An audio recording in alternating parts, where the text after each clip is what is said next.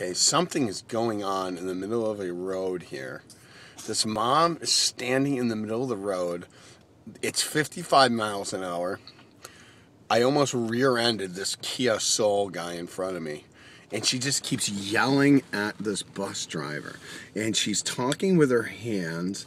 So she's either Italian or Portuguese or something, making a scene, pointing, and now she's pointing back and she's yelling. She had walked away from she had walked away from the bus. Then she actually just walked back and a car was coming. So this is fun. This is a little bit of this is what I call reality TV, folks. And it's pretty pretty Oh, she's walking back across now. Is she done? Oh, the bus driver drives off frantically fast. So he's mad.